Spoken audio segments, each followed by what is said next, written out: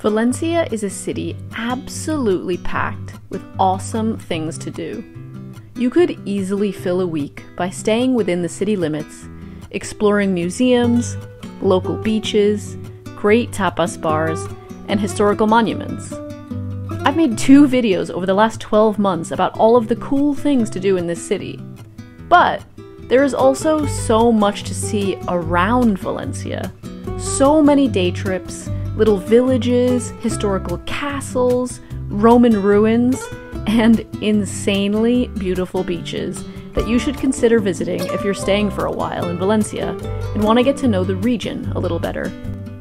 In today's video, we're going to explore unique spots worth your time, especially during the warmer beach-going months, which in Valencia is nearly half the year.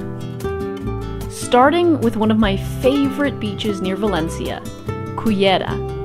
Hop on the train or drive here in about 30 minutes. Cullera has two big draws.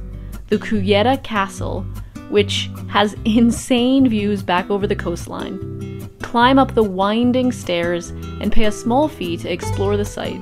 Or you can drive up if you have a rental car, which is a little bit easier during those peak summer months when it is sweltering.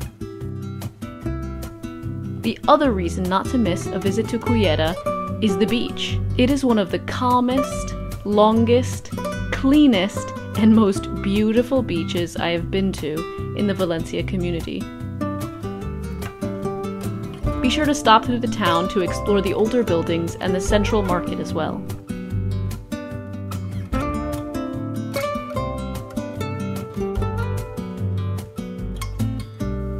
Another amazing beach town not to miss is Gandia. Welcome to a very sleepy Gandia. I hopped on the Cercanías train from Valencia and it took about an hour to get here. There's an old town to explore, which is what I'm doing now at the convent here. Uh, and then on a bus ride away, about a 15 minute bus ride away, is one of the most beautiful beaches, so I've heard. Uh, so this afternoon I'll go check that out. But first, let's explore the downtown.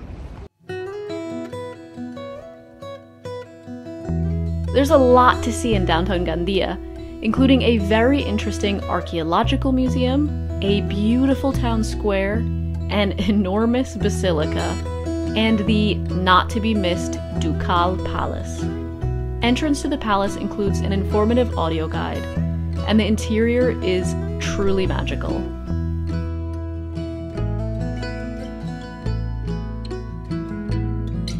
One of the reasons the town is so quiet is because it's August in Spain, which means most things are closed. uh, it's also Saturday. It's about 4.30 p.m., so siesta time. So I think it's time to go to the beach.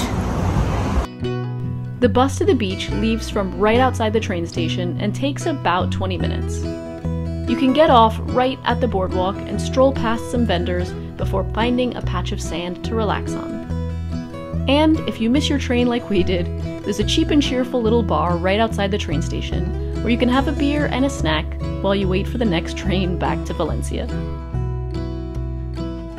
Wine lovers will not want to miss a day trip to the Utiel Requena wine region. This is a bit of a trek for a day trip, but I promise it is well worth it if you want to sample some delicious local wine and explore some of the history of this region good afternoon from Requena. We took a slow, slow train from Valencia this afternoon. It took about two hours in the end, but we're here. We're ready to try some wine. It is very hot. It's about 40 degrees, but uh, hopefully it's air conditioned inside. Some of them are in caves. Should be a fun day out.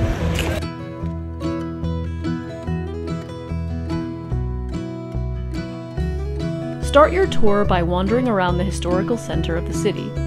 It is so stunning here, and on a very hot day, pretty quiet as well. Then you'll want to head to the Cuevas de la Villa, a set of caves that sits right below the main plaza.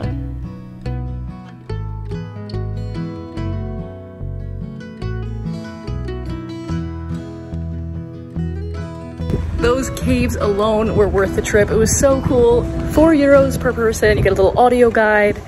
So interesting, so cool. Well worth the trip. I highly recommend it. And on a hot day like today, it was so nice and cool down there. After you've explored the culture and history of the town, it's time to drink some wine. Right next to the caves is one of the region's most famous winemakers, Murviedro. We went inside and sampled the wines that they had opened for the tastings. They told us about the wine and gave us a few snacks to nibble on while we sipped.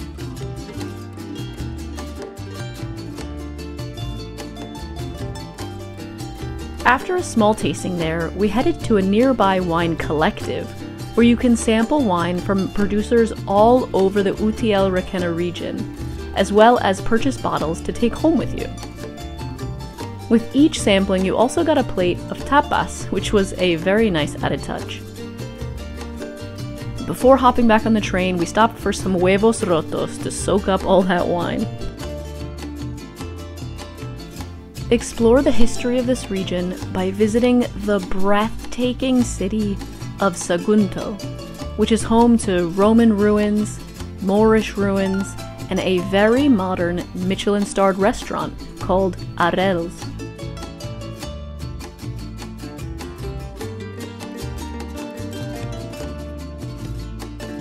Welcome to a very humid Sagunto.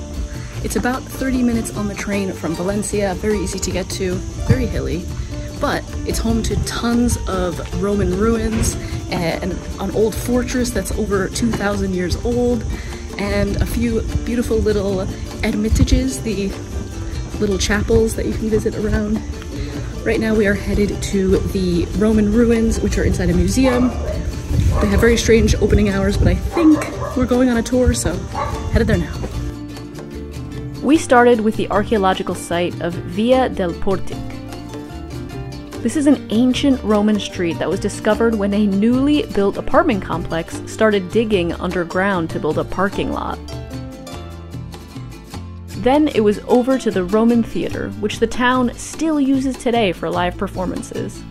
In fact, each summer you can come for a small fee to tons of different concerts and events here. From the theatre, it's a short walk up the hill to the main event, the Sagunto Castle. This castle dates back over 2,000 years. There are Iberian, Roman, Islamic, and medieval remains here. It's so cool that you can just wander around. There are hardly any restricted areas. You can just take your time, explore, sweat a little It's so beautiful up here.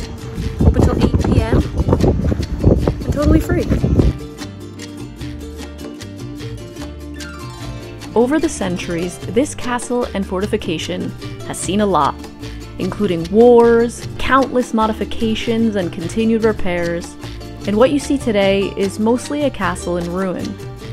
But you can feel the history here, and the views back over the surrounding region are pretty special too.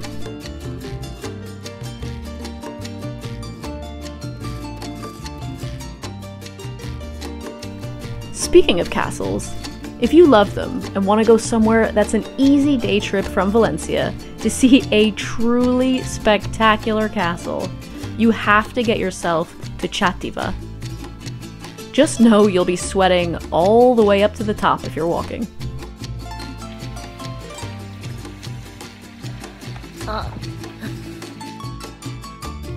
There are actually two castles on the hill here Castillo Menor which was built over Iberian and Roman ruins, and Castillo Mayor, which was built during medieval times. Climb each one for the best views of the other. Despite being an incredibly well preserved site, we had the entire place almost all to ourselves.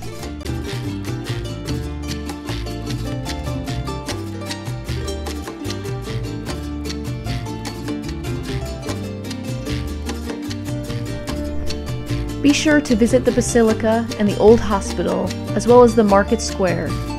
Just try to do it during opening hours, and not during siesta time, like when I visited.